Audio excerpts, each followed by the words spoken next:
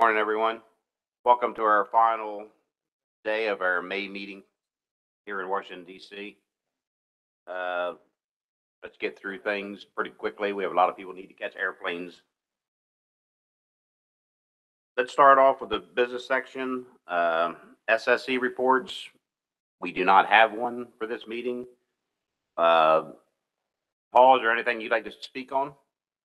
Um, uh, Thank you, Mr. Chair. Yeah, just, just wanted to say, look forward to uh, supporting the work of the council during the coming year. Uh, We have had a couple of subgroup meetings, but uh, we have nothing to report uh, formally to the council. Thank you. Uh, I'll entertain any questions if people have them about the process, so forth. But thank you.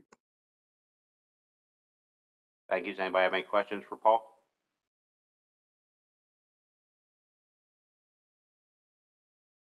Seeing none, thank you, Paul. Let's move into the executive director's report. Chris Moore? Thank you, Mr. Chair. Getting Organized here, You're zipping along. and We do have one other, before we get to, uh, to this, the executive director's report, we do have the, the executive committee report. The executive committee met on Tuesday uh, to talk about the Rick C. Savage Award. They did select someone to receive that award. We'll announce that later. Uh, Probably at the February meeting, where we'll be talking, uh, we'll be meeting in, in Durham. Um, the other thing that the executive committee decided to do was to solicit nominations for our other award. So we have an award of excellence. Uh, we haven't given that award out to anyone since 2016. So sometime over the next month or so, you'll see a request from me asking for nominations for that award. Uh, we'll have a, an executive committee meeting in, uh, April to go over those nominations and then decide how to, uh, proceed. So that's the executive committee report. And if, look at that photo behind me, I see a lot of smiling faces. I think that uh, thanks to Mary and to you all, we had, uh, we had a great photo. That's one of the better photos that we've taken. Council. So thanks for everyone for participating in that and thanks Mary for taking that particular photo. And that photo will appear on our website uh, shortly. Um, With that, uh, Mr. Chair, I'll proceed to the rest of my report. Um, If you take a look at the material behind the tab uh, from me, you can see that the first item behind the Mr. agenda. Chair? Mr. Chair? Can, can you go back to the photo for a second, No. please? Can we say that that was in front of Department of Commerce since you can't see Treasury up there? You, we, we could say anything we want. Okay, perfect. Thank you.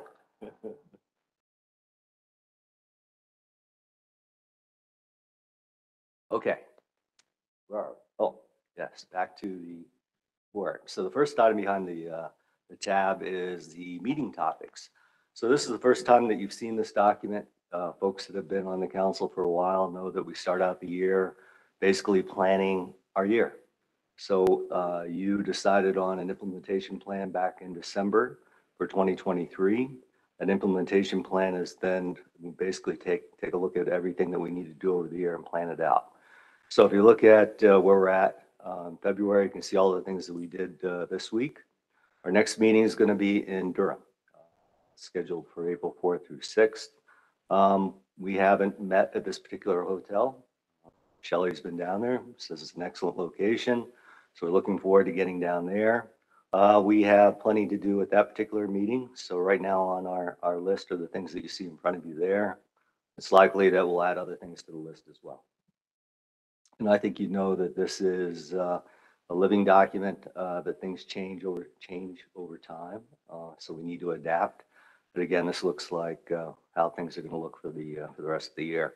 We have, as you can see, as you scroll through this, you can see that we have our typical meetings in, in August and December with uh, the Atlantic States Marine Fisheries Commission. Uh, Good to see Bob here this morning. So we'll be meeting with them. You can see the, uh, the items that we'll be uh, talking about at those particular meetings. If you like, if uh, you like charts and like looking at this a different way, you can take a look at uh, the next document behind the tab, which is uh, topics at a glance. That. And then finally, on this particular top, topic, there's a uh, meeting schedule that uh, I think you've seen before. This indicates uh, on one page where we're going to meet uh, for the year and, and um, the dates. So any questions about any of that before I proceed? Okay, seeing none.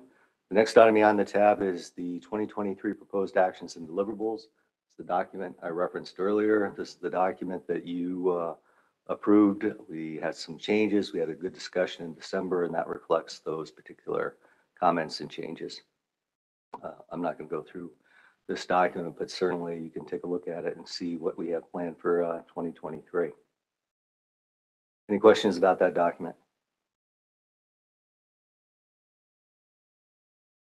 Okay, seeing none. Uh, uh, The next item behind the tab is a letter to Matt Picard, who's the Regional Director of NOAA's National Marine Sanctuaries.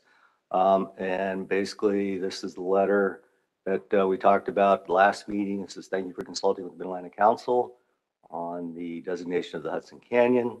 This letter provides our determination on whether we deem it necessary to prepare, to prepare draft regulations for fishing within the EEZ to implement the, uh, the uh, sanctuary. And the short answer is we don't. So if you scroll through the letter, basically talks about uh, some of our concerns, some of the things that we've done. Um, And the last couple paragraphs say the council's fishery management plans create system-wide conservation benefits. We conclude no additional fishing measures are needed to implement the proposed sanctuary. As I understand it, there's a similar letter from, a similar letter from the New England Council. Uh, The next item behind the tab is a letter to Mike, from Mike, uh, indicating his approval of Amendment 23 to the Squid Butterfish Plan. And uh, basically detailing what those, uh, what those specifications and uh, items are in that particular amendment. The next item beyond the tab is a letter to uh, me from Tom indicating, Tom Nies, who's the Executive Director of the New England Council, indicating that the New England Council did what we did relative to spiny dogfish. Any questions about any of that before I move on?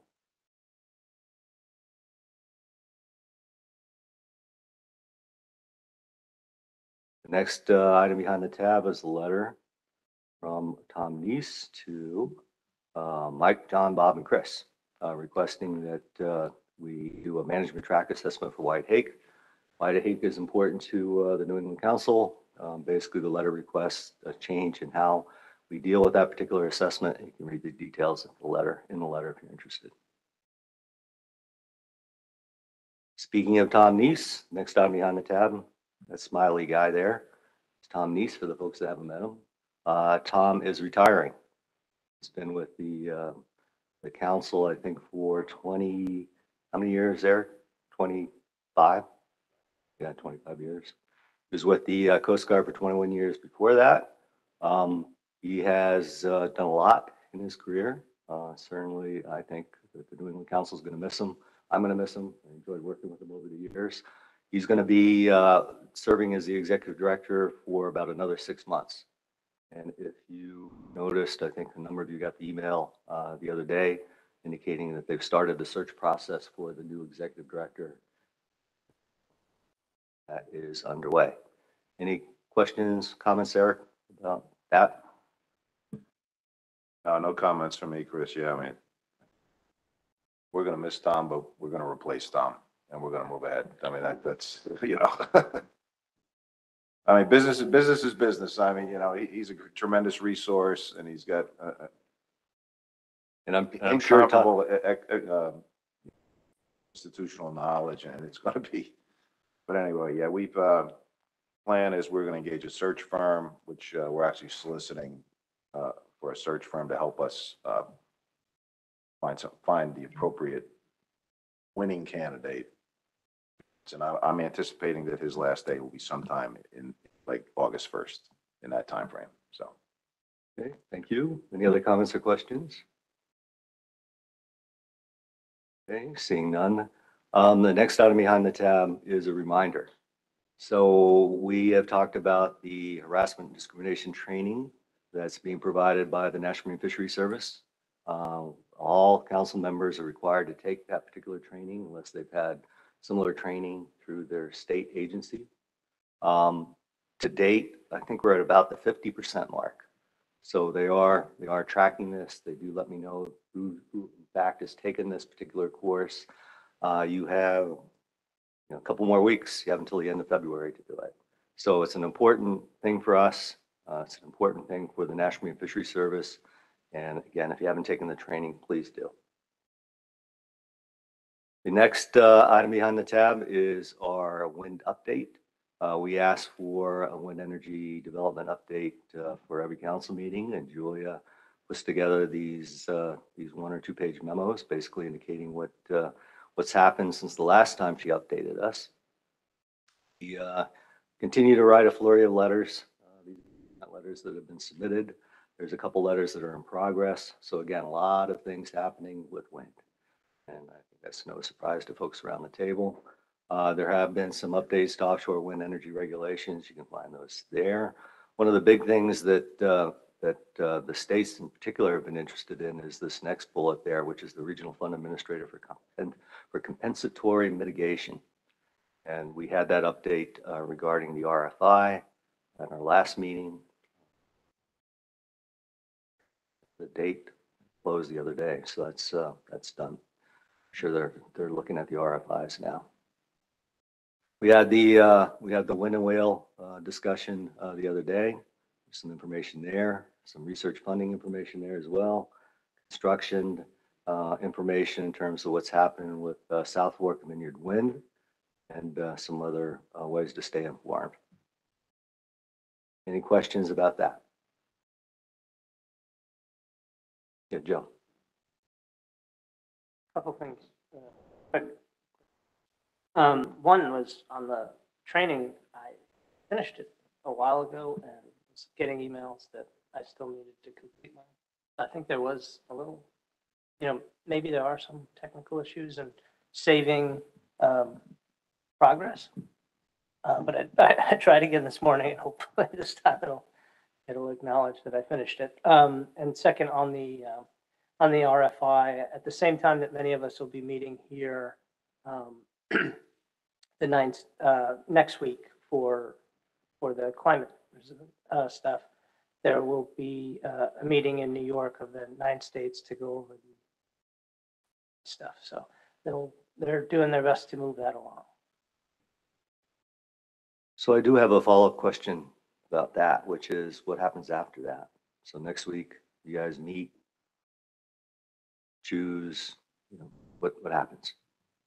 Yeah, potentially, I, I- I guess it depends on how clear of a path, the, the suggestions are and, and what nine states, I mean, that's, that's a lot of governor's offices to get together on on concurrence. So, um, you know, I, I- that's part of the challenge, but I think we will, we will see how clear of a path, you know, the, the RFI uh, has laid out for us. So we're we're trying to digest that as soon as possible. You, any other comments, questions? Okay, the next item behind the tab is an actual action item for the council. This relates to SSC membership reappointments. Uh, This uh, memo from Brandon to uh, the council indicates that uh, basically why we're doing this. Uh, There are four members whose three-year term expires in March. They're up for reappointment. All four of those members are listed below. Uh, They have indicated interest in uh, continuing to serve on the SSC. They include uh, Geret Piper, Gavin Fay, Jorge Holzer, and Lexi Sharov. Um, Staff recommends that we reappoint those folks.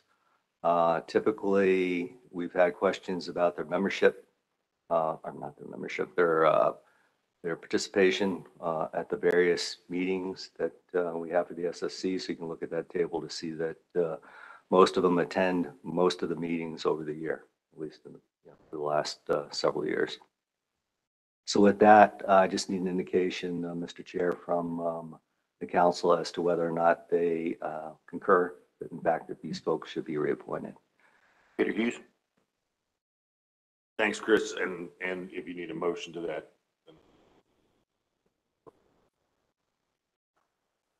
But I do have a question also. Yeah, I think, I think having a motion would be fine. We don't have to vote, but if everyone agrees, but certainly a motion on, on the table would be good. And I'm glad to answer your question. Uh, my question is, is I believe we received a letter from, uh, Doc- Dr. Anderson, Lee, the other day, who indicated that he'd be retiring from the SSC. I was just wondering, how, how does that void go about being filled? Do we put out a solicitation or something like that, or just- my own curiosity? So exactly, we have, uh, we go through a process like we did uh, the last time, We put out a solicitation, see who's interested. Um, I need to have some conversations with staff and with leadership about that particular slot.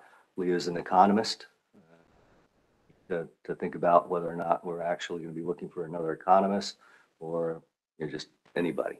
Um, we had several folks that uh, applied the last time, so it would have been two years ago, or maybe it's been three now, that uh, we thought were great, but just because we only had a certain number of slots, we couldn't. So I'm, I'm hoping that some of them reapply. But the solicitation process would basically take us through a timeline of, uh, I would guess, uh, through June.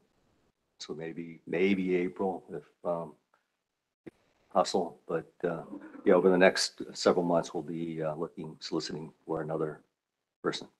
And, uh, and Peter references, I think everyone saw it, uh, the email from Lee indicating stepping off the SSC because of health issues. Lee has been around for a long time. He's uh, Been associated with this council for many, many, many years. and uh, Everyone knows that. So, so we're going to miss Lee. Certainly appreciate all his service and um, hopefully we can find a good replacement for him. So with that, I would say that probably thirty years ago was the first council meeting I ever attended, and he was at the table. One time, sorely missed. But uh, with that, I would make a motion, if you, if you make a motion to uh, reappoint to the SSC, uh, Doctors Geret DePiper, Dr. Gavin Fay, Dr. Jorge Holzer, I think and Dr. Alexei Sharov.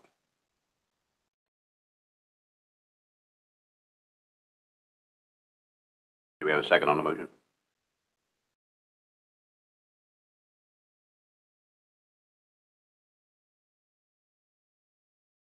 I don't think we need any discussion on the motion. Uh, obviously, they all show up because ninety-two percent.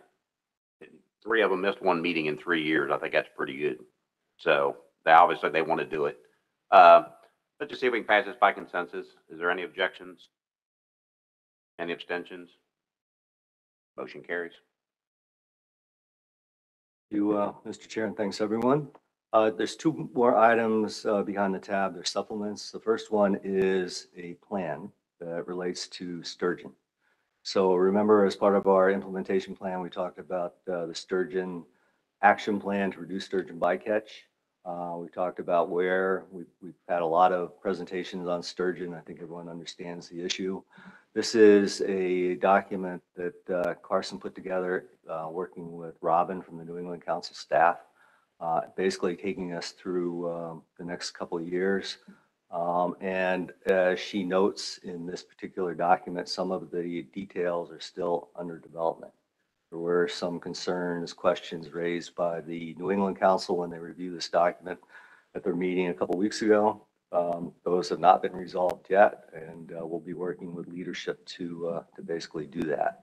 So if you can see, uh, you can see where we're at uh, through, uh, I said multiple years, it's multiple months, it's 2023. So you can take a look at how uh, things uh, are going to happen over those particular months based on this plan, taking us through uh, a uh, action in December from both councils.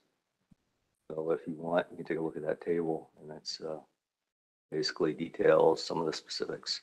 Any questions about this? I think everyone understands what we're trying to do with this. Questions, comments? Uh, Bill? Thank you, Mr. Chair. Yeah, just a comment from ASMFC perspective. I think there's, depending on where the councils go, there's a good chance that ASMFC and the states need to make some changes in state water. So we'll be kind of tagging along and, uh, you know, at least sitting in on some of those meetings and watching, and if there are complementary measures in state waters, we'll, we'll take those same actions to make sure the, you know, protection of sturgeon's kind of seamless throughout the range.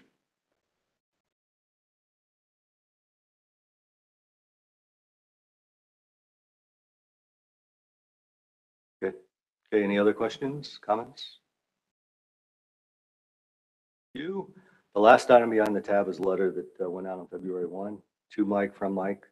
Uh, This is a letter that we thought a lot about and basically expresses our, yes, you could say disappointment maybe some aggravation with how things uh, went at our December meeting relative to the timing and rationale for Garfo's advice regarding the 2023 recreational management measures for summer flounder, scup, and black sea bass.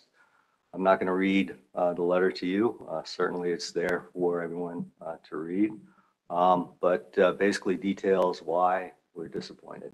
And I think the important part of the letter is the last um, paragraph or two where we say that we really want to work with Garfo, um, closely with them and our monitoring committee and the commission's technical committee to make sure that we don't have this situation again in 2023. Um, And um, certainly, um, we are, and we do reach out to, uh, to Garfo's staff. We we like working with them. We look forward to engaging with them on these discussions. And again, that's, that's the, the important thing. We just don't want to have, we don't want to be in the same situation in 2023 that we were in 2022, period. And with that, Mr. uh, Mr. Chair, I'd be glad to answer any questions or comments. Any questions or comments for Chris?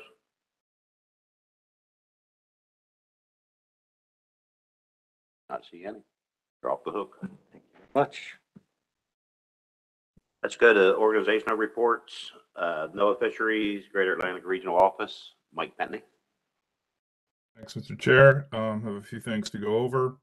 On, um, January twenty-fourth, we approved Amendment twenty-three to the mackerel squid butterfish FMP, uh, which was the rebuilding plan, revised rebuilding plan for Atlantic mackerel and the twenty twenty-three mackerel specs. Um, we published the final rule last week on February first. And, um, the rebuilding plan prevents overfishing and is plan, expected to rebuild the stock by twenty thirty-two. The uh, ABC for 2023 is 8,094 metric tons with a commercial quota of 3,639 metric tons, retaining the 129 metric ton river herring and shad catch cap. Uh, and then, as I think everybody around the table knows, but just as a reminder, uh, brand new in this amendment is now a recreational possession limit of 20 fish per person. Uh, on December 21st, we published the final adjusted catch specs for the 2023 bluefish fishery uh, consistent with the council's recommendations. Uh, the specifications at the higher level are unchanged from those projected in prior multi-year actions. Uh, but there was a reduction of eight million pounds from the recreational harvest limit to account for a recreational overage in 2021, uh, as well as updating recreational discard data.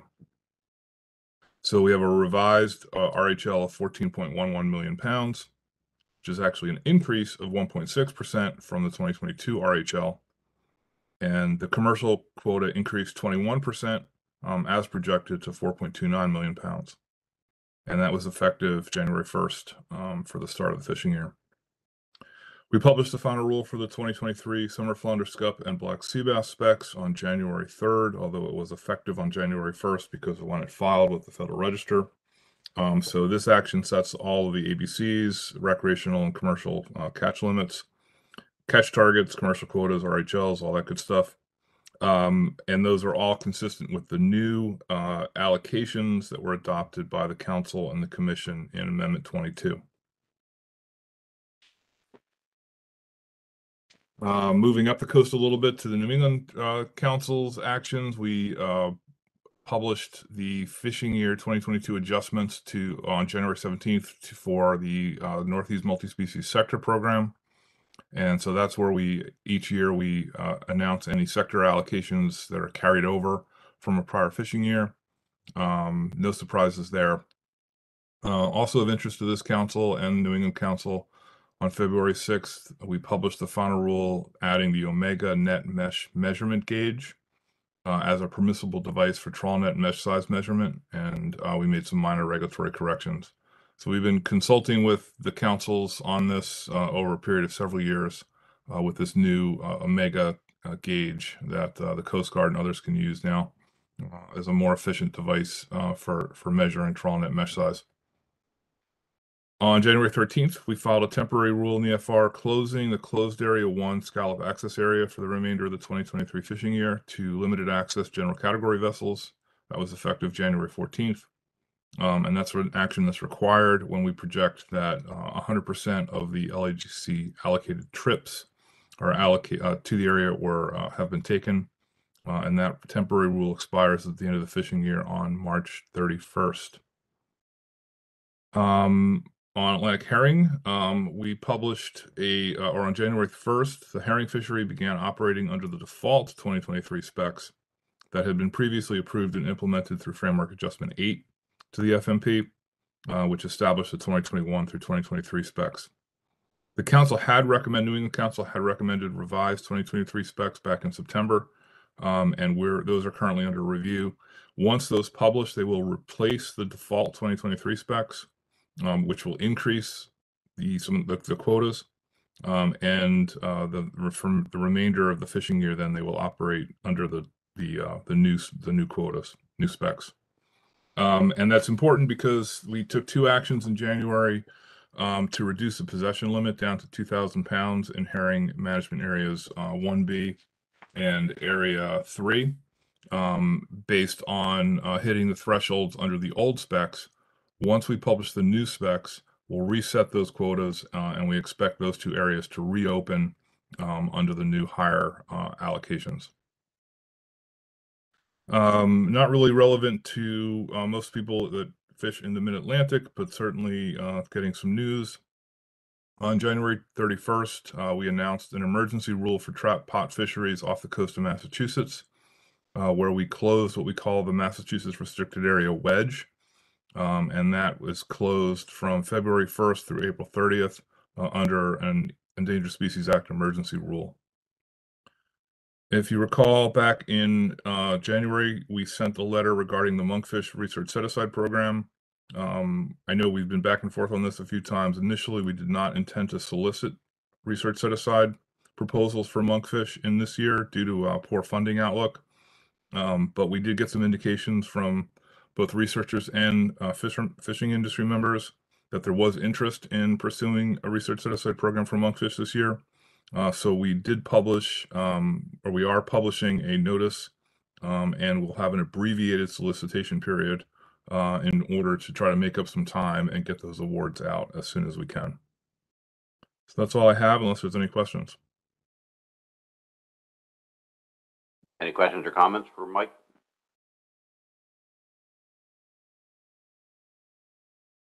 Julie? I, I wanted to ask you about the implement, about the approval uh, of the blue line tilefish uh, reporting where the council sent in reporting, the man, make mandatory reporting before the fish came off the vessel or the vessel left the water is the way it was sent in from the council, I believe. And uh, Garfo came back and implement, and it was implemented a twenty-four hour grace period of reporting time. And what that has done is basically took any chance of enforcement at the dock. uh, and we're seeing that result in the, uh, people not reporting or the opportunity to. And I'm wondering, uh, what was the reason for that switch between the council, or clarify it for me if I'm wrong, the switch between what the council sent in, what y'all approved, and could it be looked at in the future coming from the council in a different amendment or framework or something like that to change that? Because basically it's neutered, well, that might not be the word, but it, it, it's, it's, uh, took the enforcement part out of it, which I see is a big carrot to make people report, and that's why some of it is what we're seeing at the dock, 'cause folks just don't have to worry about it. They can do it twenty-four hours later, and, and so I'm wondering the short, uh, about why that took place or, uh, a summary. Thank you. Yeah, I don't have any details um right now. I mean, commercial and charter and, and, and charter party permit holders have 48 hours to submit. Private recreational tilefish um permit holders have 24 hours. I'm not sure I understand why we should have gone to zero for for the for the private rec um anglers when effectively everybody else has 48 hours.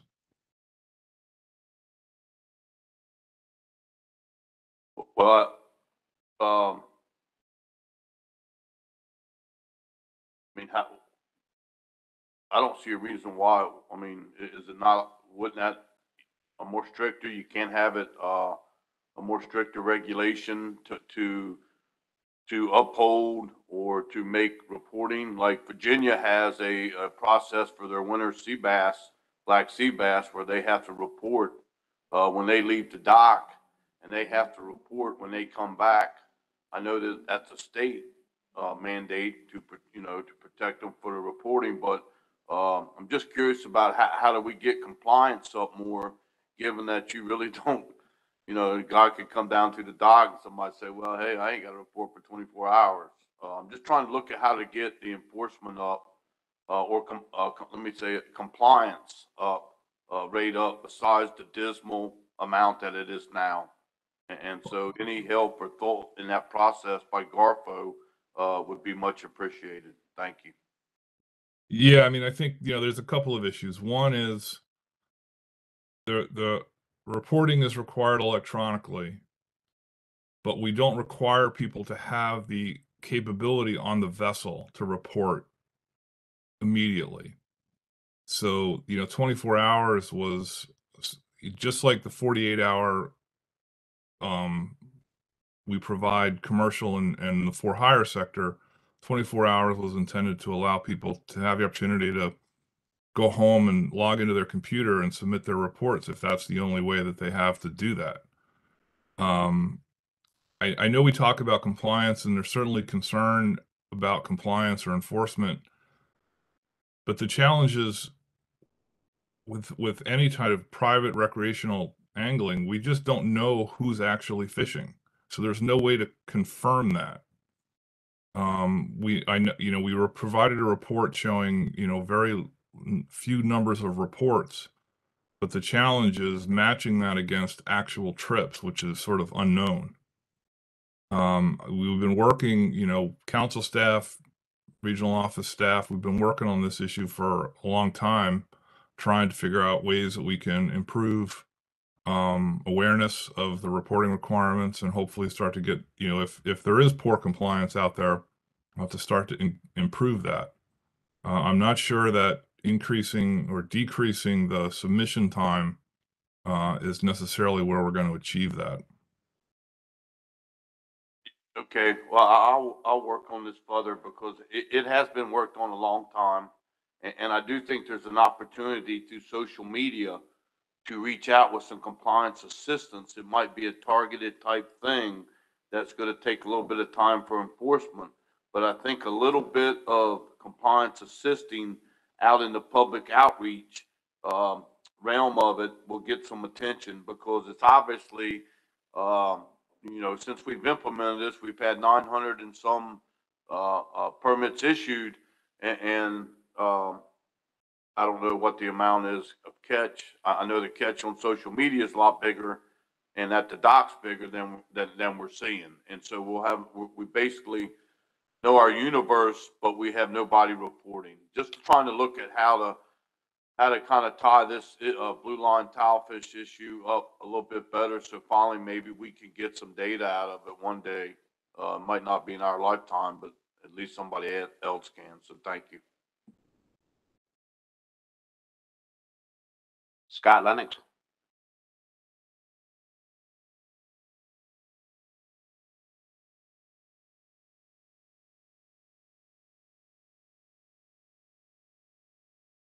Lost you, Scott.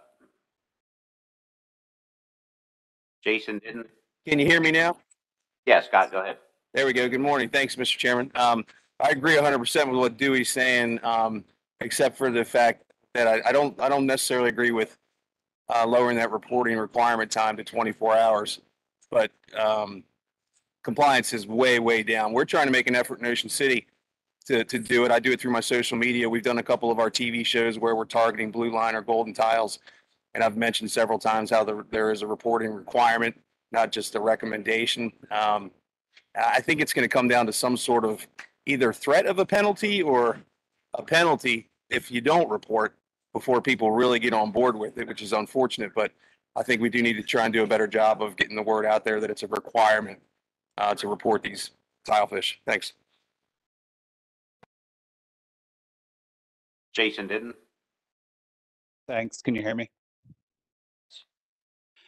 Yeah, I just following following up on what Dewey said. The the, the amendment is originally passed had the um, language that the fish would have to be reported before um, the fish left the boat or the boat left the water to kind of provide an unambiguous um, enforcement opportunity. Um, any fish on the dock or on a trailered boat, um, you know, would already have to have been reported. And as Mike said, because of um, you know, there was long, there was a some delay in implementation, and then those different concerns. Um, you know, the that, that Mike kind of went through. The end result was the 24 hours. So uh, just um, you know a little bit of so you know it may have addressed some things, but then this kind of unambiguous enforcement kind of opportunity was is not there now because of that 24 hours. So there's definite trade-offs there. Um, you know, as things been discussed, we have plans for additional outreach. But uh, anyway, just a little more background on how um, you know why that was put in there originally, and then um, Mike said the different concerns of why that wasn't um, why the implementation was a little different.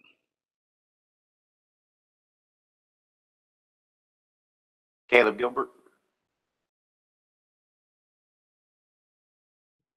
Thanks, Mr. Chairman. Can, can you hear me okay? Yes, you sound fine.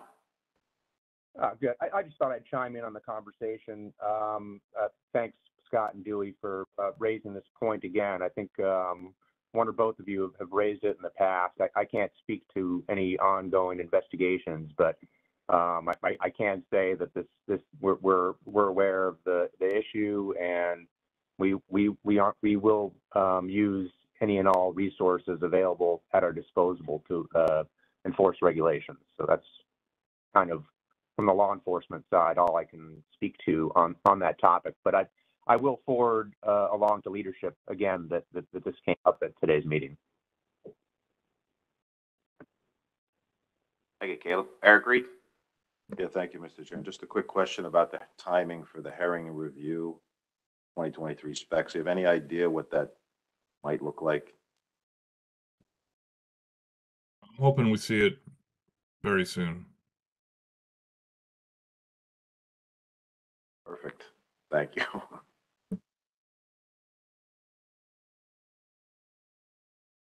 Any more questions or comments around the table?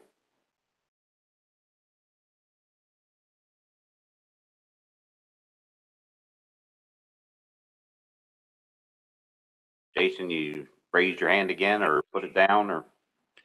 Yeah, uh, I'll just flag um, that I think both based on the of Monitoring website, both the um, the river herring shad cap ratios for um, the mackerel fishery and um, at least some components of the Atlantic herrings cap are are, are pretty high right now, um, and uh, um, so if for, for folks who are involved in those fisheries, definitely if they can, um, try to avoid those river herring and shad, if we get some observed trips, it'll bring that ratio down. But as things stand now, it's, um, you know, quite possible that the caps, um, will close the fisheries, at least in, again, for mackerel and some of the herring areas before, um, the, the actual quotas of those species, um, close the, the fisheries.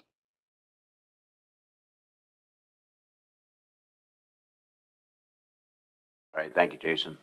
Any more questions, comments around the table? Anyone from the audience? Anyone online?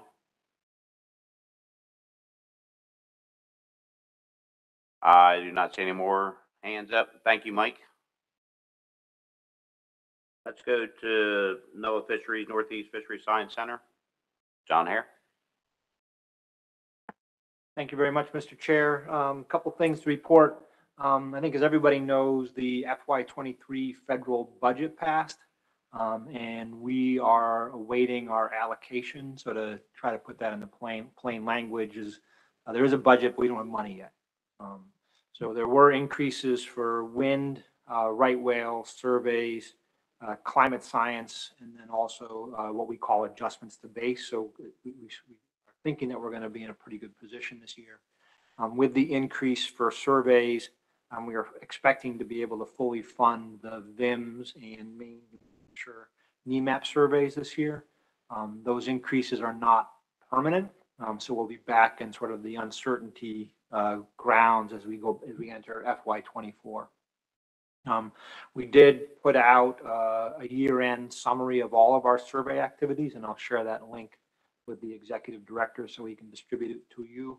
Um, we are expecting to be able to do our full suite of surveys in FY twenty-three um, with the exception of our coastal shark bottom long line survey.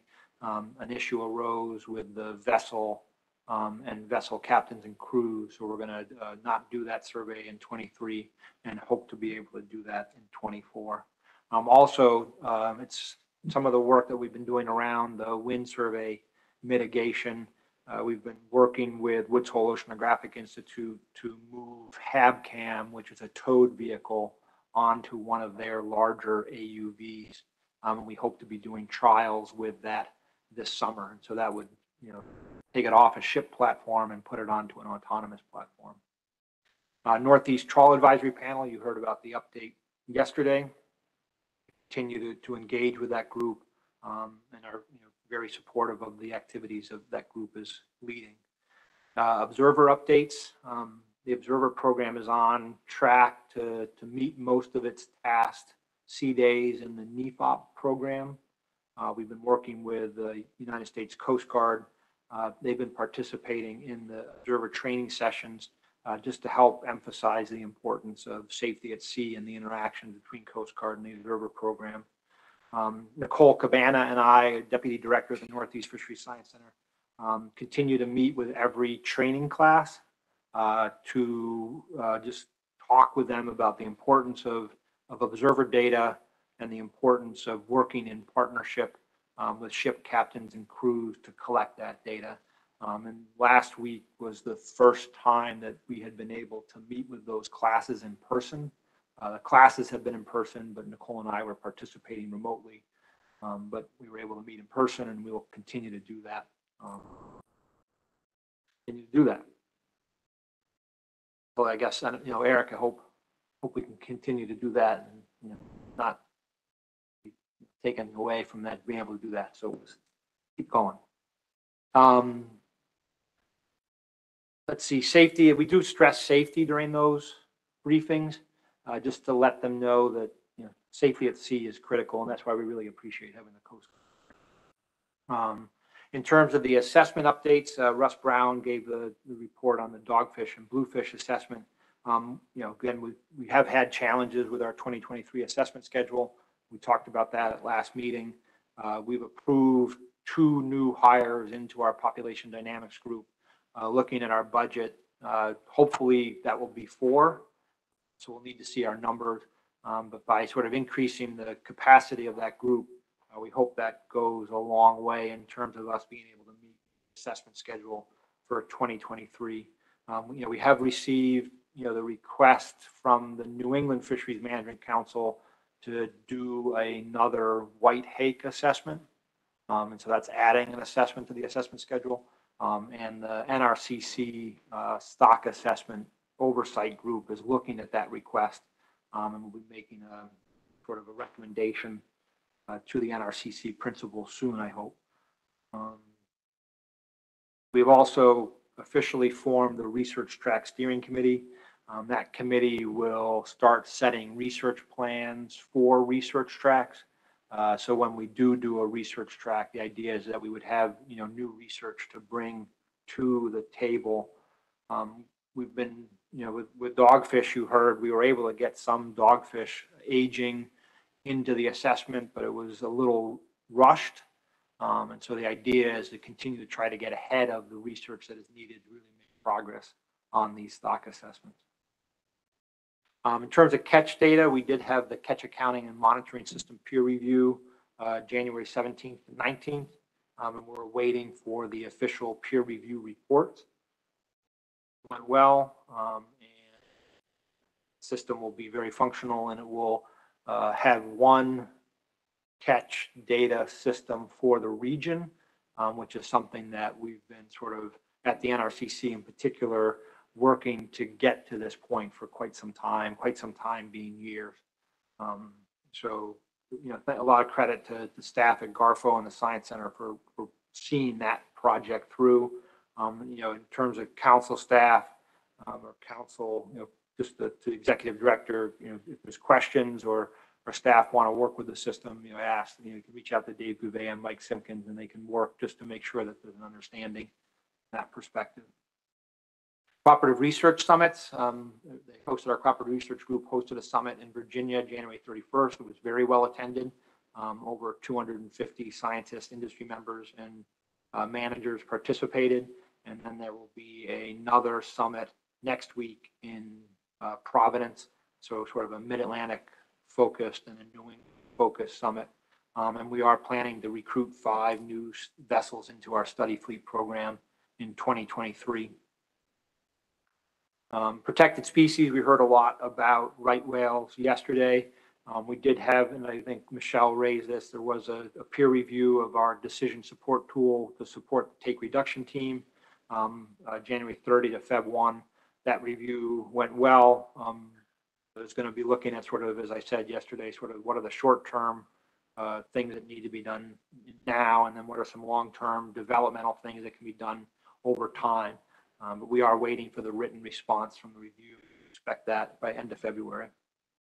Um, uh, Henry Milliken, Eric Matzen, and Brian Galvez gave a presentation at the New England Council two weeks ago um, on sort of the development of on-demand fishing and sort of recognizing gear that's not marked at the surface on the bottom. Um, I think it could be useful uh, if at a future date that they could give a similar presentation here. I think that is going to be a challenge uh, regionally um, as our pot and trap fisheries, you know, if, when they move to an on-demand system without surface, surface marking. Um, offshore wind, we've been working hard in that arena. Um, we finished the survey mitigation plan and are starting to implement that. We're going through each one of our surveys that's going to be impacted. Um, there are 14 surveys that the Northeast Fisheries Science Center conducts that are going to be impacted by offshore wind energy development. Um, so we're working now with just the principles of those surveys to start sort of laying out a plan to duct- collect the data that needs to be collected in a world where there are offshore wind turbines um, throughout the Northeast.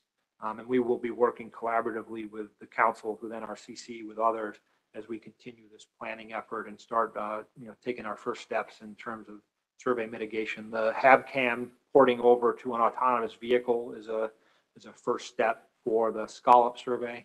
Um, and we anticipate taking full advantage of advanced technologies as we move forward. Um, and I think the last thing that I will say is that we continue to produce our monthly science highlights.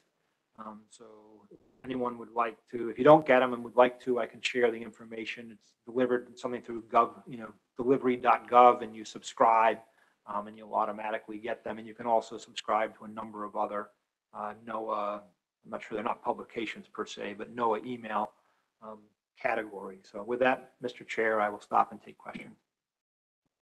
Thank you, John. Any questions or comments? Chris Moore? Thank you, uh, Mr. Chair. John, I didn't get a chance to talk to my staff about the uh, summit, the Cooperative Research Summit. So I'm curious as to um, what happened. So yeah, a lot of folks Uh, sounded like there was good discussion. So what happens with all that? Is there, is there, was it, was the summit basically identifying research topics, research needs? Just curious. Thanks. Yeah, I don't have a full report out, so I I should have. Um, But I think it was more sort of research needs and research opportunities. um, and you know, Help advise the program what topics they should be thinking of addressing in the future, but also trying to have the region, everyone in the region think cooperatively um, and seeing cooperative research as a way to work together to answer questions that we have. So it's not only a Northeast Fisheries Science Center cooperative research program, it becomes a uh, you know, in the region, we use cooperative research as a way to answer our questions. But I can get a, uh, there will be detailed reports coming out of those. I think they're probably going to wait until after that February 1 to finalize those reports. Dewey? Yeah, I attended, uh, the Cooperative Research Summit in Newport News, and I thought it was very well done, uh, educational. Uh, you had a lot of different folks there from different, uh, avenues, uh, especially the commercial industry and academia and, and people that have done projects and, um, so I thought it was, it was good. Um, it, it, um, networked a lot of folks, um, folks got to talk. So I, I, I thought it was good. I attended it for, uh, about six hours. And, um, think in the future that there's futility and more things like that type of things of bringing folks together from the Northeast and, and different things. You know, I saw folks from the Southeast and, and, and, um, and in management. So I think it's, it was a good thing and I thought it was well done. Uh, timely reports, people giving, uh, some of their uh, presentations on the work they've done, folks asking questions from the audience. And so I thought it was good and, and, and think it could be more stuff like that in the future, maybe a couple times a year at different locations to get people networking. Because you got to put the folks together and, and it gives a chance for industry um, if they want to work with somebody or do something to attend, to maybe find somebody or, a- or a, a project or something that needs to be done or fill a gap or void. So I I would recommend it. And I thought it was good and well done. Thank you. Any more questions or comments? Thank you, John. No Office of General Counsel? Don Almeida? Thank you, Mr. Chair. Um, Since our December meeting, uh, we have a couple of new lawsuits filed. First one of interest to the council uh, was Lofstad v. Raimondo.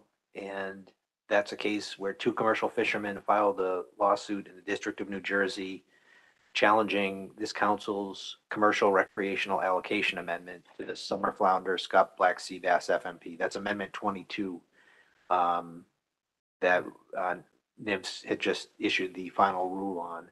Um, This is an interesting case um, in that the plaintiffs are solely raising constitutional arguments. There aren't, um, you know, our typical cases in when there's a challenge to a, an amendment, will raise Magnuson, you know, national standards type arguments. This one is a solely constitutional argument about the Constitution's appointment clause. Um, it's in the early stages of uh, litigation, so our first step in the case is to answer the complaint. And the answer is due uh, on February 27th of this year. Um, The other new case that was filed is a right whale case, um, another in the series of right whale cases that we've been litigating. Um, This one was brought by the Massachusetts Lobstermen's Association in the District of Columbia. And uh, it was just filed last week. And this lawsuit is about the emergency rule that um, Marissa talked about the other day in the right whale update um, that would close a wedge area between um, within the Massachusetts restricted area.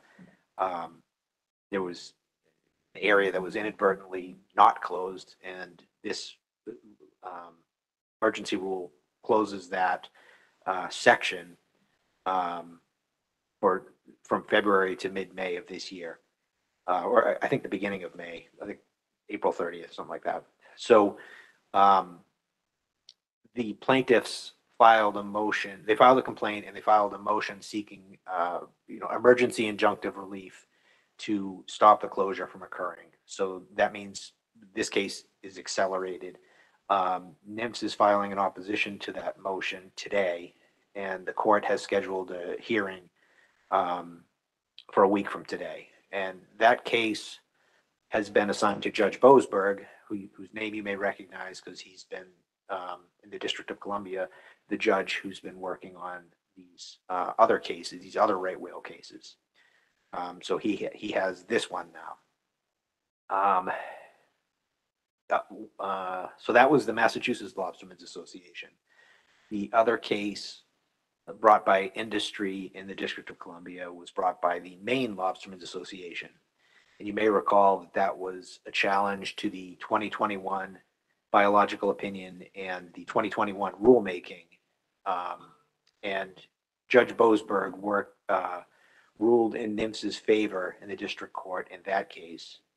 Um, the Maine Lobstermen's Association filed an appeal to the DC Circuit um, in like it- middle of September. Um, and they sought an expedited briefing schedule. And so that case is, that appeal has been moving pretty quickly. Um, the, after the appeal, so basically it was briefed this fall and the court has set up oral argument on the appeal for uh, later this month, February 24th. After the appeal was fully briefed, um,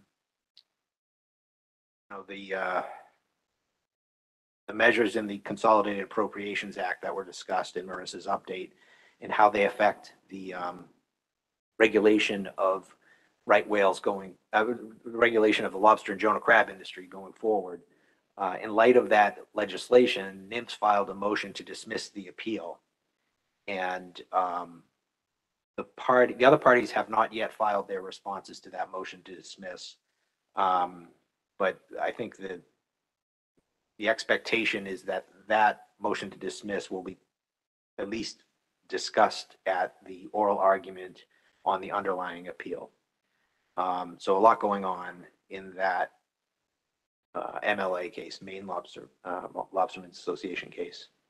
In the other case before Judge Boasberg, the Conservation Law Foundation Center for Biological Diversity case, um, you may recall that Judge Boasberg um, issued a remedy order uh, in November of 2022 that set up a schedule for the next rulemaking that NMFS was, would be doing um, relating to uh, right whale um, interactions with fixed gear fisheries. And again, with the Consolidated Appro- Appropriations Act, that kind of changed the landscape as far as the remedy, the schedule that Judge Boasberg had set up. Um, and NMFS filed a notice with the court as to the existence of this new legislation and indicated that the part, you know, the parties would confer to just, you know, try and get their hands around the implications of that legislation uh, in the litigate, and it, on the litigation. And those discussions are ongoing. I expect there'll be more filings before Judge Boasberg in the not too distant future on this, on these issues. Um, that's all I have for now. Um, if anyone has any questions, I'd be happy to answer them. Sonny Gwin? Thank you, Mr. Chair. Just, um, a curiosity question. You know, with all your reports that you've been doing about the, um, the going to court on these whale issues, has there ever been any court issues going on about ship strikes? Um, you know, environmentalists coming in suing for the ships and the, uh, boat strikes? Yeah, I haven't worked on the ship strike case, but there was a case a couple of years going back where environmentalists were seeking to, um, they filed a petition for rulemaking with, with NMFS to you know, come up with new regulations on, like the existing rule, like, you know, and NMFS, um, started the new rulemaking process. And I believe that case was dismissed in light of the fact that there is a rulemaking process going forward. So there was at least that one case that I'm aware of where environmentalists were trying to force NMFS to develop more regulations regarding ship strikes. Thank you. Chris Moore? Thank you, uh, Mr. Chair. Um, Last night I became aware of another, well, I have two questions for you. Okay, Mr. Chair. The first one uh, is in regard to a lawsuit from or against Vineyard Wind. Participants in the lawsuit include Seafreeze and others, so I'd like to hear more about that.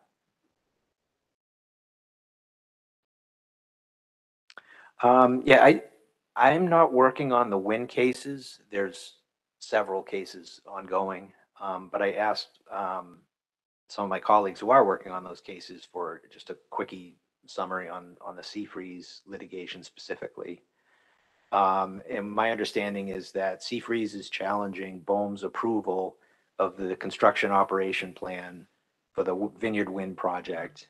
And the legal, uh, claims are based on the, um, uh, let me sure I get this right, Offshore Coastal Lands Act, um, NEPA, ESA, and Clean Water Act.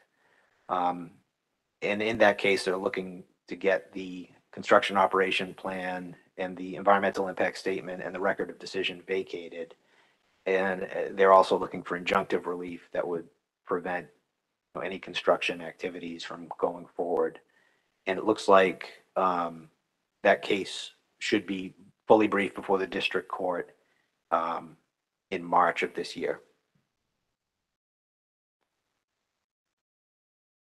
Thank you. And if I could, Mr. Chair, the, uh, another conversation that I was involved in last night that confused me. There was, and it was probably because of my confusion more than anything else. So you referenced a lawsuit, your first reference was to a lawsuit out of Texas that had to do with the commercial recreational allocation. Not Texas. Um, This case is filed in the District of New Jersey. Yeah, Gotcha. So that has nothing to do with the harvest control rule, though. Correct? Okay. All right. Thank you. the, the harvest control rule hasn't been finalized yet. Um, this one is, at this point, it's just about Amendment twenty-two, the commercial recreational allocation amendment.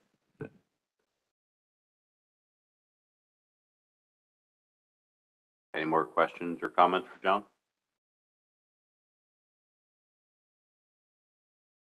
Anything else, John? No, thank you, Mr. Chair. All right, thank you very much. Let's go to NOAA Office of Law Enforcement, Caleb Gilbert. Uh, Thank you, Mr. Chairman. Good morning, council members. Um, Related to our continued enforcement priorities within the Northeast Division, there's some right whale and observer priority related highlights I'd like to share this morning. Starting on right whales and Atlantic large whale take reduction plan compliance, I'm pleased to report our Um, take reduction patrol figures from the first quarter FY '23. OLE and our enforcement partners combined to inspect a total of about 380 individual lobster vessels across 52 take reduction plan focused patrols in the first quarter. The vast majority of those patrols were conducted by Maine Marine Patrol and creating a trend of incre- increased compliance rate of um, take reduction plan compliance over the last three quarters. About 88% of those vessels, roughly 334 out of the 380 vessels inspected in the first quarter, had no ALWTRP violations identified when either both a vessel or a trawl or multiple trawls were inspected. For reference, we saw about a 79% compliance rate in the fourth quarter FY22 among lobster vessels inspected um, ins- inspected for uh, take reduction plan compliance then, and that was a tick up from what we saw in the third quarter FY22, about 70%. Uh, we tabulated first quarter FY23 take reduction Plan patrol data and figures two and three on pages eight and nine of the uh, written report now up on the um, council's website. Thank you, Mary. Um, we, we tabulated these figures in the same manner as we did in our third and fourth quarter FY22 reports, written reports provided to the council. Uh, next, following the uh, ROV ops conducted in the fourth quarter FY22, um, enforcement officers conducted investigative uh, work with results documented on page seven of the written report. Um, for those who don't recall, those ops were conducted in Lobster Management Area 3, targeting lobster gear there. This year was the third year um, NED Northeast Division law enforcement staff engaged in an operation of this nature, um, ROV and LMA 3, and we will continue this initiative through FY23.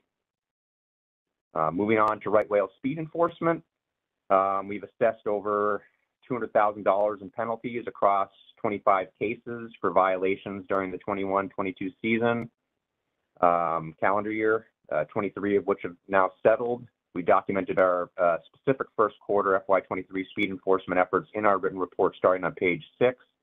I think I mentioned this at the last meeting, but it's worth repeating that our speed enforcement continues to involve all available technologies at our disposal, including AIS and various radar devices. Our investigative support team staff continue to aid our agents and officers on the land and at sea speed operations patrols that are now underway for the 22-23 seasonal management area season.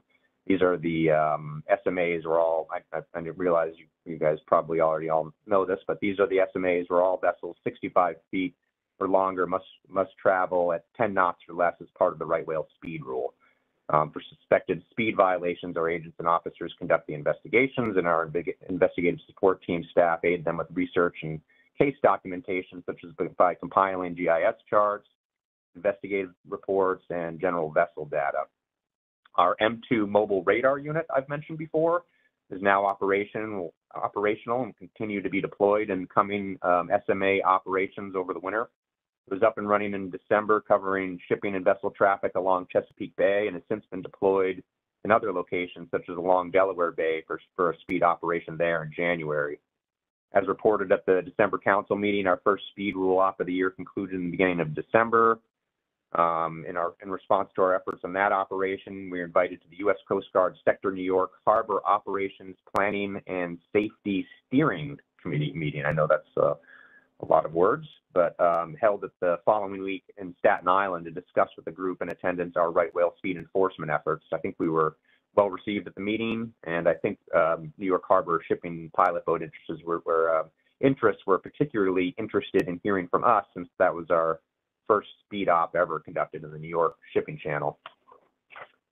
Our second speed op of the year off of Delaware Bay concluded three weeks ago, as I just mentioned, where we deployed our M2 unit and our D2 um, uh, senior enforcement officer and another enforcement officer also conducted a joint ALWTRP uh, you know, take reduction plan and SMA patrol in Chesapeake Bay on Monday last week. Uh, no violations were documented in either the op or the patrol.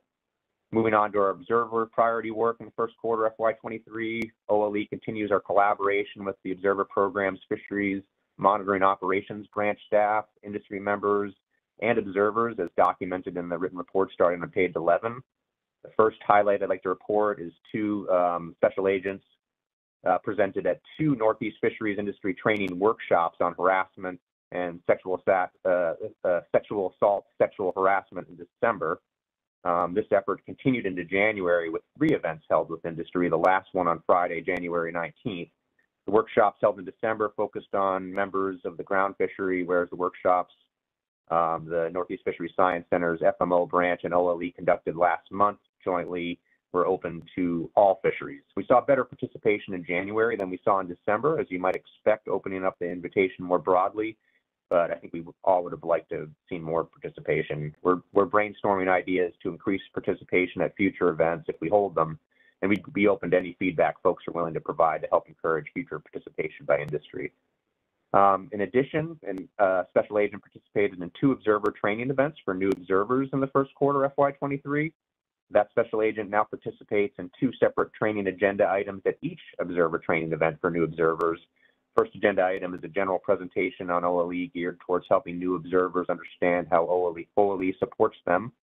And the other agenda item is a more recent addition. That's an observer support panel that the SA participates in alongside U.S. Coast Guard and FMO staff.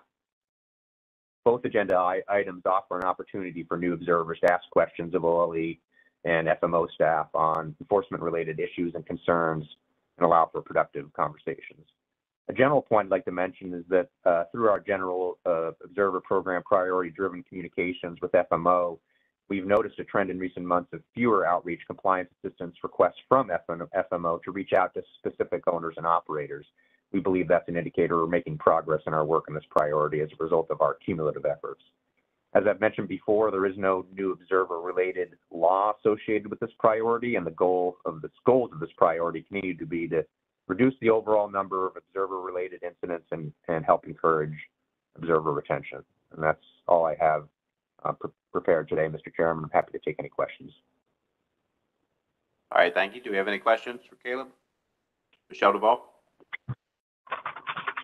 Thank you, Mr. Chair, and- and thank you, Caleb, for the report. I was curious um, with respect to the um, vessel speed zone work that you all have been doing, if you're able to share any information about, uh, I guess, maybe the, the, the nature of the vessels that you're finding the speed violations. So in other words, are they, you know, primarily from the shipping industry or, you know, can you share anything, any broad details like that?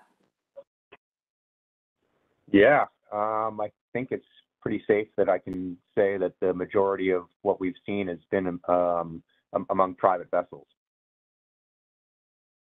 I, I don't have a breakdown for you, but I, I, I know that has been the, you know, I don't know, if you want to call it a blind spot, but that's, that's just the, I think the majority of the violations that we've, uh, lead violations that we've seen have been among um, um, privately owned vessels. Thank you. I think Sort of I about as guess. close as I can get. I would have expected to hear there'd be more like great companies or something like that. So thanks for that. Yeah, no problem. I I think that those, you know, that type of thing has happened. Um, and I, and I, I might have listed a couple examples, uh, specific examples in the written report. I, I tried to itemize as much information as able, as, as, as I was able to find. So you might, you might, uh, I think there was, a- there, there might be an example or two of along the lines of what you're, uh, looking for. Agreed? Yeah, thank you, Mr. Chairman. My, my question is basically what Michelle asked. I, I want to know how many vessels are operating under a foreign flag? Hmm. Um, there may be a case that I can share publicly. Um, I'd have to check on that, Eric. Any more questions? Uh, I do see one comment. Thank you. Um, I know all of you, I've come and gone in different positions representing the mid. Um, Caleb Gilbert is my husband and we are about to celebrate our 12th anniversary. Um, and I just want to thank you, Caleb, for keeping the home front strong uh, while I'm here. I know that all of us, um, whether you're, you know, sitting at the table or, or sitting in the audience, have sacrifices to make uh, when you sit here and represent all the jobs that you do.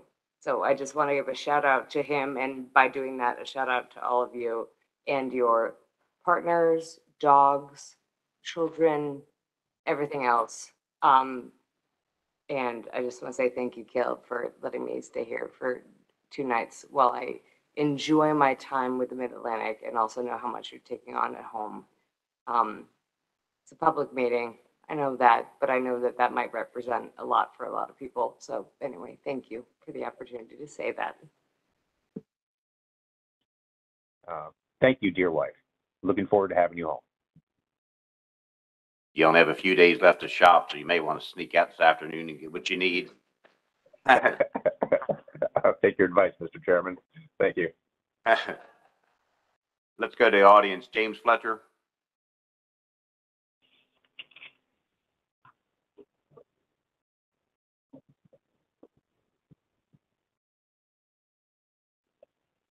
James, if you're speaking, we can't hear you.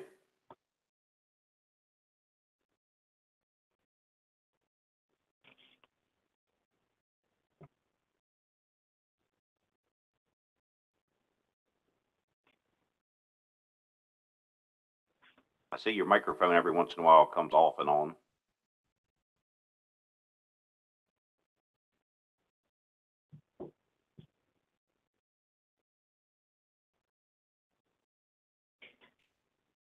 All right, I see you took your hand down now.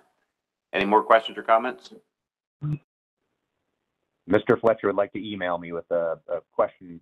Um, I'm happy to receive it in that manner.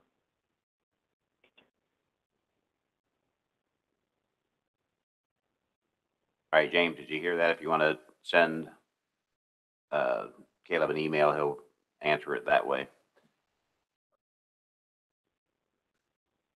All right, let's go on now to the U.S. Coast Guard. Lieutenant Commander Caleb Gilbert.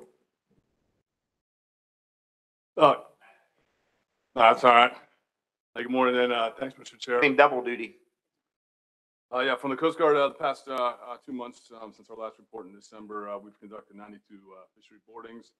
Um, Sort of less than what we did last year this time. We've had fewer boardings on Atlantic striped bass and sea scallops. One of the things in the sea scallops we've noticed since the Mid-Atlantic access area has opened, that the majority of the fleet has moved further north and outside of our boundaries. So we haven't had the, the presence in the sea scallop um, vessels that we've had previously, which kind of drove down a little bit of our numbers.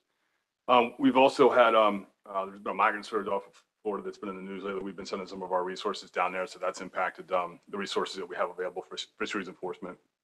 Um, but during that time, we haven't had any violations, uh, reported, um, on the, uh, the, the protected species, uh, support.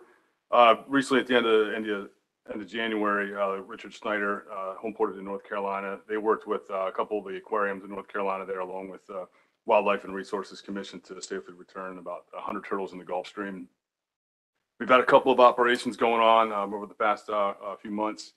Uh, Operation Stars and Stripers, um, which is one we target for um, Atlantic striped bass. Um, They've kind of since moved a little further south, um, but that's been ongoing. Uh, The right whale uh, speed enforcement, uh, we've also, similar to to NOAA there, um, Caleb is reporting, we've been focusing on uh, hail informed and some of the pulse ops that uh, NOAA OLE has been doing in the ports we've been supporting. Um, Since we've been doing the hailouts, uh, we have about uh, 20, 20 that we've done so far that uh, we've seen violating the speed restriction that we've hailed out to. Um, And, and they've um, slowed down for the most part, uh, but we've had 20 so far. Uh, we, we've also did a, uh, a fishery enforcement, um, or a commercial fishing vessel safety, operation targeting oyster vessels in the Virginia area, um, to coincide with their open harvest, areas, um, ending at the end of January. Uh, we, we did about 23 boardings and it resulted in, uh, six, uh, voyage, uh, terminations, uh, for safety issues. And then, uh, we currently have one, going on for, the black sea bass, um, off of, Virginia that's currently in wave one that we're, that we're working now. On the, the commercial fishing, vessel safety efforts, we've done about 70 dockside exams, the past two months. We've issued 62 decals. Um, and we've had, six terminations, like we said before, with the, um, with the op that we're doing. Uh, some of the outreach efforts that our, uh, our examiners have been doing, um, they've, they're getting ready to attend the Ocean City, uh, Maryland Expo. Um, should be a good event there. They're also in the Atlantic City, uh, New Jersey Boat Show in March, and, uh, they continue to conduct, uh, outreach and commercial fishing vessel safety training. On the, uh, the search and rescue cases and the casualties that we've had, um, we've had a grounding. Um, it was a uh, fishing vessel ran aground, uh, was taken on water in Oregon Inlet there. We had three people on board. Um, the vessel, we were able to get them a pump and, uh, Sea was able to get them refloated and, uh, the vessel was towed to Wanchese for, uh, for haul out. And, uh, during the, the post, uh, search and rescue boarding, they had, uh, seven deficiencies that we noted on that one. There's also a loss of propulsion. Um, one that we had, the fishing vessel had an, engine, casualty in the Virginia area, It broke away from a mooring ball up in Craney Island. And, we were able to get the vessel safely, uh, towed to, uh, Portsmouth Marine Terminal. Um, and the investigation is ongoing for that one. Um, and then, uh, we had the, the six terminations from the, uh, the oyster vessel, uh, oyster, uh, commercial fishing vessel op that we ran. Um, and some of those, terminations were mostly due to insufficient life-saving equipment. Um, the, most of the vessels were operating in, in, in and around the Rappahannock and James River. And, uh, some of the deficiencies, uh, range from, you know, no, no survival craft, emergency suits, uh, buoyant apparatus, inadequate firefighting, uh, things of that nature. And uh, that concludes uh, my portion of the briefing. Uh, pending any questions? Any questions for Matt? Peter Hughes? Hey, Matt, I'm sorry, did you say oyster vessels? We do, uh, what vessels that we're targeting oysters, um, in the Virginia area. Uh, we, we normally like to focus our assets offshore. Uh, however, during the winter months, it gets a little challenging for us with the weather. Um, so that's a, some of those fleets that operate inshore, uh, that we don't give a lot of attention to. Um, so every once in a while, we'll try to do an op just to see, uh, to check the safety vessel compliance on that. And, you know, from time to time, we, we, you know, this one had, had some safety concerns that we were able to address, but, uh, yeah, that, that's what, that's what we did there. Any more questions?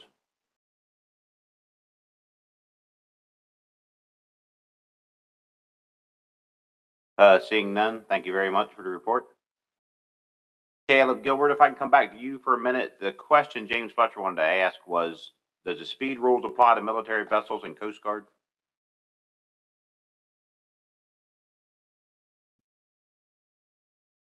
All right, Matt, you got an answer to that? Yeah, so I can chime in on that one. Um, so there's an exemption. Yeah, there. sorry.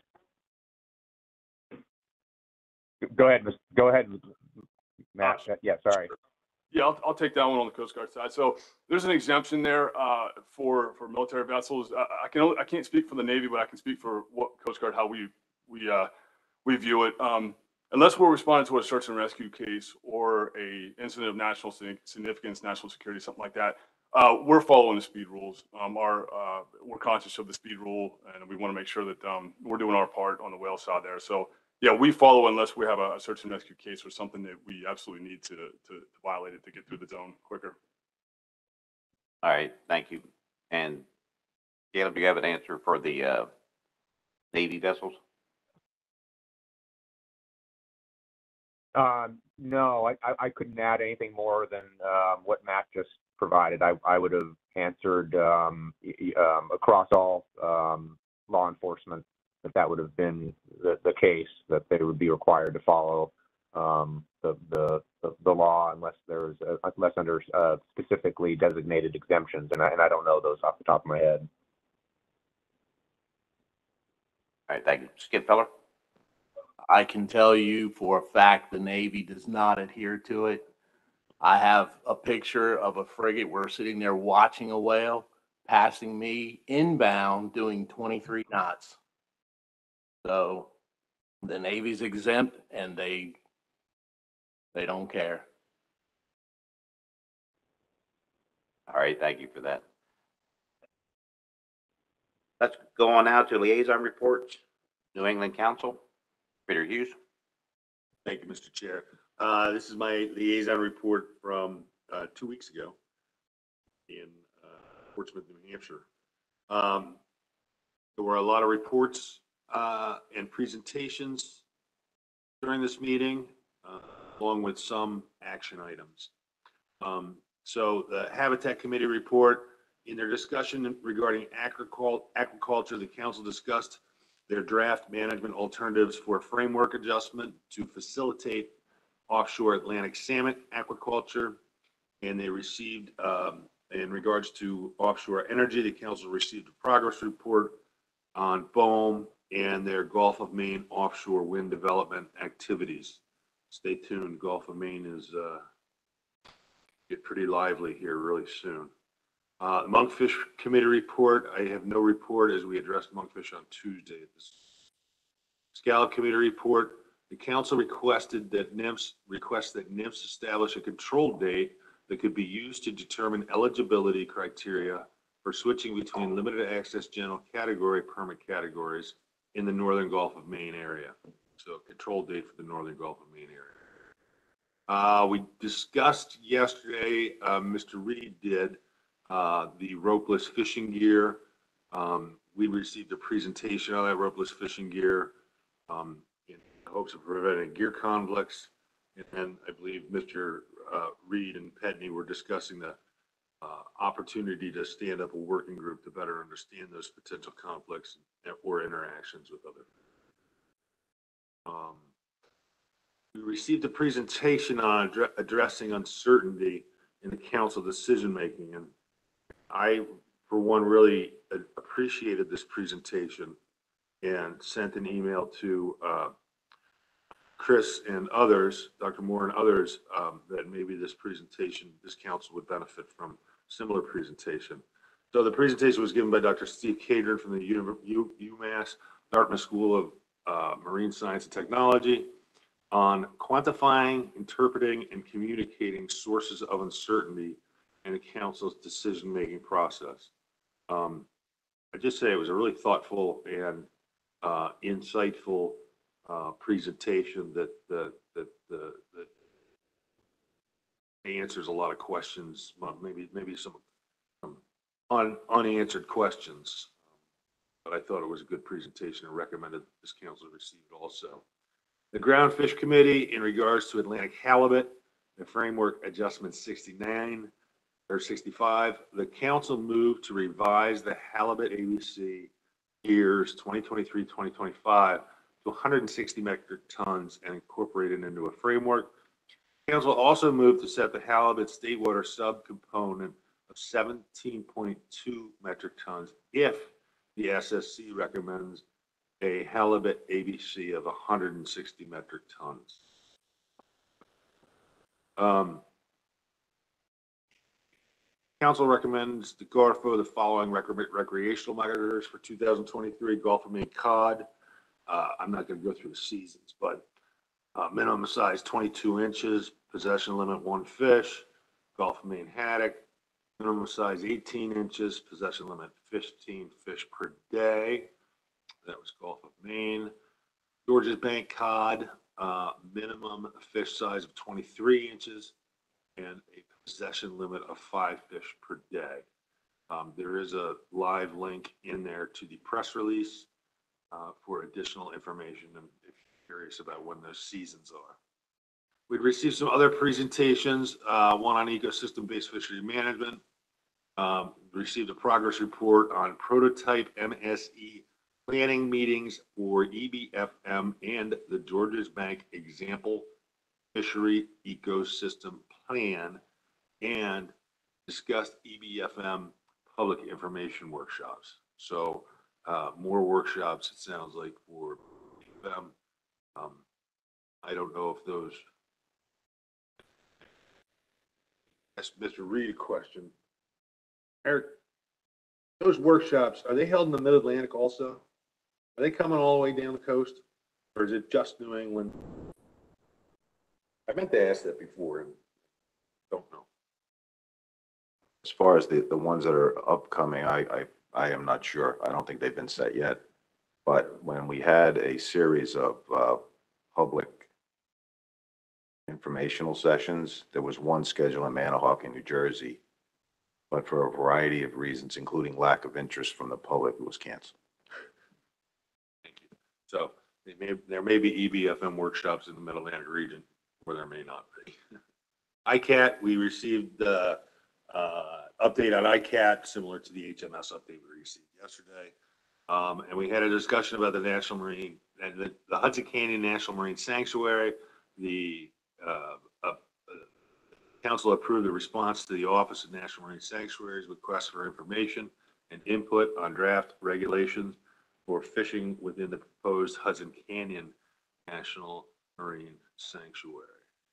And it said a lot of, a lot of reports. Actionable items, uh, up in New England and that. Thank you. Any questions for Peter? Comments? Seeing none, thank you very much. The South Atlantic Council, do I believe you guys didn't have a meeting since the last report? Yeah, that's correct. The next meeting is, uh, March, uh, March sixth in Jekyll Island, Georgia. April. All right, thank you very much. Uh, I'd like to recognize also from the commission, Bob Beals here. Glad to see you. Do you have anything you'd like to report on from last week's meeting? Thank you, Mr. Chairman. Uh, Not a whole lot of the activities last week um, impacted uh, directly this council, but a couple things of interest probably are, um, we talked about striped bass commercial transfers for ocean uh, state by state uh, shares, and that was postponed. Um, asking the technical committee to go back and do some more analysis on the potential impact on fishing mortality associated with moving quota between states along the East Coast. Um, we got a report out on the American eel population, which is unfortunately in pretty rough shape. And we're gonna, um, there's some additional work being done by the technical committee there as well to try to look into, to options for moving forward on American eel. We've been working hard to restore that fishery for a long time and not many, not very much positive news there. So, um, a lot of it has to do with habitat, water quality and other issues rather than fisheries harvest. The, the fisheries harvest is way down. Um, but so we'll keep working on that and have a report out. And then related to all the lobster conversations we had here earlier, um, the, there's a public hearing document on improving the resiliency of the American lobster um, population in the Gulf of Maine. Just the concern is, um, you know, as waters warm all the way through the Gulf of Maine, we need to be poised to react if we start seeing a decline in that population and, and put in some automatic triggers with associated management measures, measures uh, that will automatically go in place. So those are a few of the highlights from last week. Um, happy to answer any questions. Thank you, Bob. Any questions? Peter Hughes? I do not have a question for Bob, but I did neglect part of my report. And it's just to say E A G L E S, Eagles.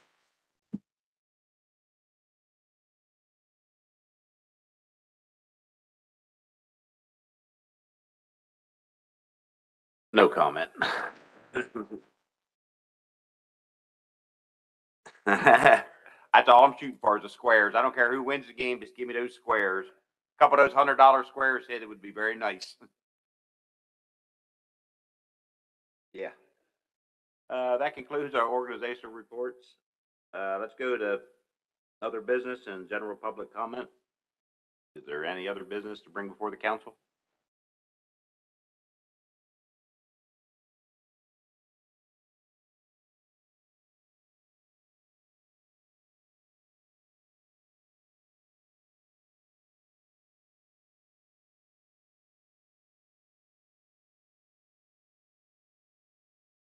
All right, we have Jim Fletcher. Let's go ahead and try and see if we can hear you this time. Go ahead, James. Can you hear me now? Yes, you can speak up just a little bit. Okay, what I'm asking the council is to implement electronic reporting in the EEZ. The United National Fishermen's Association has asked for this from probably somewhere starting in 1994. NOAA, National Marine Fisheries, has found a way to evade the 2006 Magnuson Act that required registration of recreational fishing. The United National Fishermen's Association is asking that this council implement electronic reporting using Bluefin data app that is already to implement. They will keep the data or the council can have the data. But what you have discussed today, the lawsuits of overshares and stuff like that, we have no way to know how many recreational fishermen are getting the shares that is being implemented. So this is a request to please implement electronic reporting. Thank you for your time. Thank you very much, James. It's, we have it on record and they will take it into consideration. Any more comments or questions?